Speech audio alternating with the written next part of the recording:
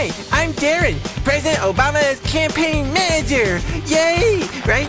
I- I'm here to share with you the top seven reasons why we need to re-elect Obama. Number one, food redistribution. On March 16, 2012, our great illustrious leader, President Obama, signed an executive order declaring total government authority over all food, farms, livestock, seeds, tractors, and farm equipment. That's pretty smart, huh? Isn't it wonderful? Instead of greedy capitalist farmers hoarding all of their own food, now the compassionate government can take the extra food and redistribute that food to those in need. Don't call it communism. It's just mandatory charity. Who says government doesn't have a heart, huh? Number two, vaccine mandates. More vaccines are good for everyone. So when individuals decide they don't want vaccines, that puts all of us at risk. When the great Obama is reelected, he will use executive orders to authorize armed government vaccine enforcers to make sure that every man, woman, child, and even unborn children are vaccinated at gunpoint if necessary, because it's all for your own good. It's about government protecting you from you. Number three, gun control. Here in the Obama administration, we really like gun control because it means that we control the guns, not you.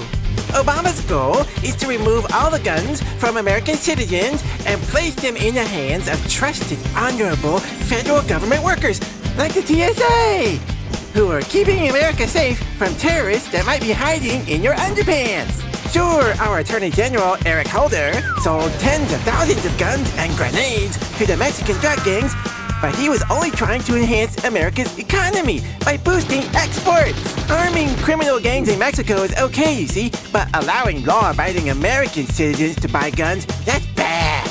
That's why Eric Holder wins our Big Brother Brainwashing Award. Congratulations! and just really brainwash people into thinking about guns in a vastly different way. Number four, secret arrest. On December 31st, 2011, our savior Obama signed into law the National Defense Authorization Act, which legalizes secret arrest, detention, interrogation, and torture of American citizens on U.S. soil with no due process or Bill of Rights. Because who has time for all that anyway? And if you don't have anything to hide, you shouldn't mind being interrogated in the first place. Due process only protects criminals, like those people who criticize the government. They should be arrested.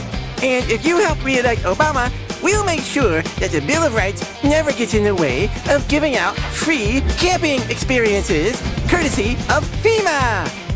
Number five, criminalizing farmers. Under the Obama administration, our government promoted food safety by raiding fresh milk farmers and food distribution centers at gunpoint.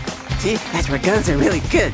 So, after King Obama is re-elected, we intend to expand this effort to criminalize backyard chickens, small livestock operations, home gardens, and any food source that isn't owned by one of the politically connected mega corporations that gives us campaign contributions. Remember, if your food doesn't come from a factory, it's probably illegal.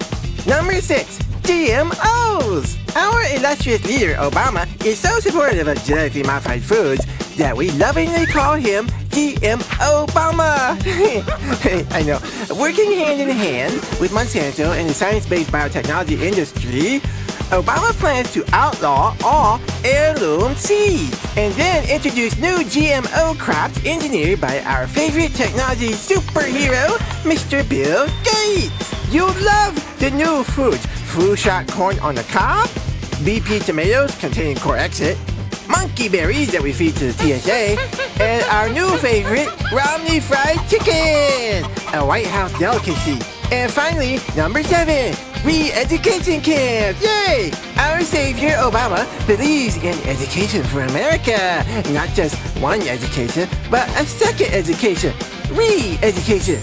Remember, re-education is free education, just like we promised in our campaign speeches. So that's why we are now activating re-education camps all across America. It's also kind of like free camping for everybody.